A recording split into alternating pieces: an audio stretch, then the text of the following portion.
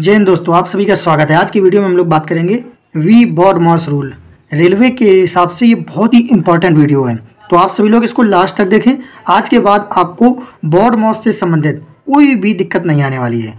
सभी लोग पूरा का पूरा वीडियो देखें, जिससे कि रेलवे में पूछे जाने वाले दो से तीन प्रश्न आप इजीली कर पाएँ, क्योंकि बहुत सारे बच्चे इन्हीं प्रश्नों में गलती कर देते हैं और ये सॉलिड नंबर होते हैं। तो देखिए, सबसे पहले हम लोग बात कर लेते हैं कि इसको हम लोग कहते क्या है? वी बॉर्ड मॉस कहते हैं। इसको इस तरीके से लिखा जाता है वी बॉर्ड मॉस। अब यहाँ पे जो वी का मतलब होता है, वी का मतलब क्या है? बार। बार ब्रैकेट होता है, जैसे कोई संख्या लिखी हुई है, उसके ऊपर ये निशान बना होता है। तो वी होता है हमारा बार। उसके बाद बी बी का मतलब होता है हमारा ब्रैकेट। ये है हमारा ब्रैकेट। तो इसमें भी तीन ब्रैकेट होते हैं। पहला कौन सा है? इस तरीके से बनता है। ये हमारा है छोटा। उसके बाद फिर जो हमारा दूसरा ब्रैकेट है, ये हमारा ये हमारा है मंझला ब्रैकेट उसके बाद एक और ब्रैकेट है इस तरीके से. ये हमारा कौन सा ब्रैकेट है? बड़ा ब्रैकेट तो ये स्मॉल है, ये मीडियम है और ये लार्ज ब्रैकेट है. उसके बाद हम लोग ओ का मतलब जान लेते हैं कि ओ क्या है हमारा? ओ का मतलब है ऑफ़ और ऑफ़ का जो हिंदी मीनिंग होता है, वो क्या होता है? का. तो हमें का को सॉल्व करना है। आप लोगों को बाद में ये भी बताऊँगा कि आप लोगों को जब दो ऑप्शन मिल जाएँ कि ये निशान दिए हैं तो आपको कौन सा चूज़ करना है। आप लोग देखना, इतने फटाफट जवाब दोगे, आप लोग खुद देख लेना। उसके बाद डी का डी का मतलब होता है डिवाइड डिवाइड का मतलब भाग। उसके बाद एम का मल्टीप्लीकेशन मल्टीप्लीकेशन का मतलब गुणा। और उसके बाद एड एड या एडिशन तो एडिशन का मतलब क्या होता है? जोड़ और एस का मतलब होता है सबस्ट्रैक्ट सबस्ट्रैक्ट सबस्ट्रैक्ट मतलब घटाओ। अब इसके बाद आप लोगों को देखना है कि आप लोगों को सबसे ज़्यादा प्रायोरिटी किसको देनी है? तो आप लोग सीरियल लिख लेना, जैसे V B O D M A S लिख लिया। जो सबसे ऊपर है, वही सबसे बड़ा है। उसी को सबसे ज़्यादा प्रायोरिटी देनी है। मतलब सबसे पहले इसको सॉल्व करना है जो सबसे ऊपर है, सबसे पहले। उसके बाद अगर हम लोग बात करते हैं कि ब्रैकेट है, अब ब्रैकेट में आप लोगों को क्या करना है? सबसे पहले स्मॉल स्मॉल के बाद मीडियम को सॉल्व करना है और फिर बड़े ब्रैकेट को सॉल्व करना है। उसके बाद ऑफ़ डिवाइड मल्टीप्लिकेशन और एडिशन और ये सब्सट्रैक्शन तो इनको इस तरीके से प्रियोरिटी देनी है। तो सबसे बाद में इसको ध्यान देना है। सबसे बाद में इसको सॉल्व करना है। सबसे बाद में। और ये सबसे पहले तो आप लोगों को सीरियल समझ में आ गया होगा। अब मैं कुछ आपसे दो तीन चीज़ें पूछ लेता हूँ। जैसे कि, मान लो मैंने पूछ दिया कि ये हमारा बार है और बार के साथ साथ आपको ये ऑप्शन मिल जाए तो आप सबसे पहले क्या सॉल्व करोगे? आपको बताइए। आपको मैंने सबसे पहले बताया कि सबसे पहले हमारा कौन सा बार सॉल्व होगा तो पहले हम लोग इसको सॉल्व करेंगे, उसके बाद फिर इसको सॉल्व करेंगे। उसके बाद अगर यहीं पे पूछ दें कि अगर हमारा ये ब्रैकेट लिखा हुआ है और ये लिखा हुआ है तो अब आप किसको सॉल्व करोगे सबसे पहले?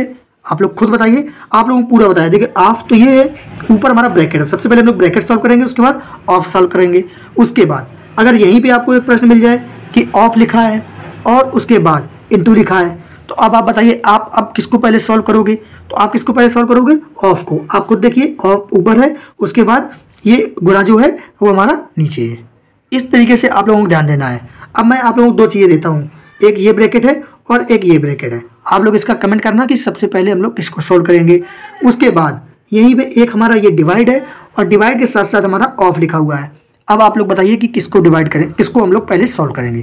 तो ये दो प्रश्न आप लोग कमेंट करना। तो जो हमारा सबसे पहला एग्ज़ाम्पल है, देखिए, ये रेलवे में पूछा भी गया है और सबसे ज़्यादा विवादित प्रश्न रहता है, बच्चों के मन में बहुत ज़्यादा डाउट रहता है। अगर मान लो कोई ऐसे प्रश्न दिया है कि पाँच भागे पाँच भागे पाँच, अब आप बताइए आपको ये सॉल्व करना है। अब आप कैसे सॉल्व करोगे? सबसे पहले क्या करोगे? तो मैं आप लोगों को बता दूँ, जब भी ऐसे डिवाइड पे प्रश्न दिया हो तो आप लोग बाएँ से दाएँ की ओर बढ़े। ये हमारा बायां साइड है और ये हमारा दायां साइड है। इसको बाएँ से दाएँ सॉल्व करना है। तो जब आप बाएँ से दाएँ सॉल्व करेंगे तो पाँच बटे पाँच क्या आ जाएगा? एक आ जाएगा, एक बटे एक भागे पाँच। उसके बाद जब इसको सॉल्व करेंगे, बाएँ से दाएँ तो एक बटे पाँच।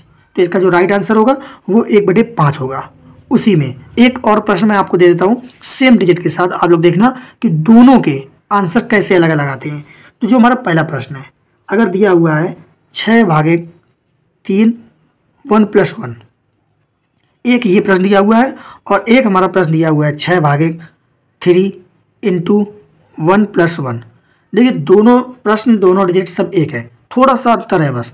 अब आप लोग जल्दी से वीडियो पोस्ट करके सबसे पहले इसका आंसर कमेंट करें कि इसका आंसर क्या रहने वाला है। तो मैंने आप लोगों को पहले भी सिखाया है कि वी बॉड मॉस रूल में सबसे पहले हम लोग क्या सॉल्व करेंगे। तो इसमें हम लोग देख लेते हैं। सबसे पहले इसमें निशान कौन कौन से दिए हैं? एक डिवाइड का निशान है और एक ये हमारा ब्रैकेट का निशान है। अब आप देखिए, आपको डिवाइड पहले सॉल्व करना है कि ब्रैकेट पहले सॉल्व करना है? आपको पहले ब्रैकेट सॉल्व करना है। तो जब ब्रैकेट सॉल्व करोगे तो एक एक, दो हो गया और तीन का गुणा कर दोगे तो क्या आ जाएगा? छः भागे छः और इसका जो आंसर कितना आया? एक आया। उसके बाद इसमें जो हमारे ब्रैकेट दिए हैं, इसमें कौन कौन से दिए हैं? एक तो हमारा ये भाग का है, उसके बाद ये गुणा का है। ठीक है? ये और ये ब्रैकेट हमारे दिए हुए हैं। अब आपको सबसे पहले क्या सॉल्व करना अब देखिए, आपने क्या किया सबसे पहले? एक और एक दो हो गया। अब हमारे पास दो सिंबल बचते हैं, एक भाग और गुणा का। अब आप क्या करोगे? सबसे पहले किसको सॉल्व करना है? तो सबसे पहले डिवाइड को कि मल्टीप्लीकेशन सबसे पहले हम लोग डिवाइड सॉल्व करेंगे। तो तीन का भाग इसमें दिया। कितना आया? दो आया और दो इंटू दो कितना हो गया? हमारा चार हो गया। तो इसका आंसर कितना है? चार, जबकि सेम सेम चीज़ थी। दोनों में कोई अंतर नहीं था, सिर्फ़ एक इंटू का अंतर था।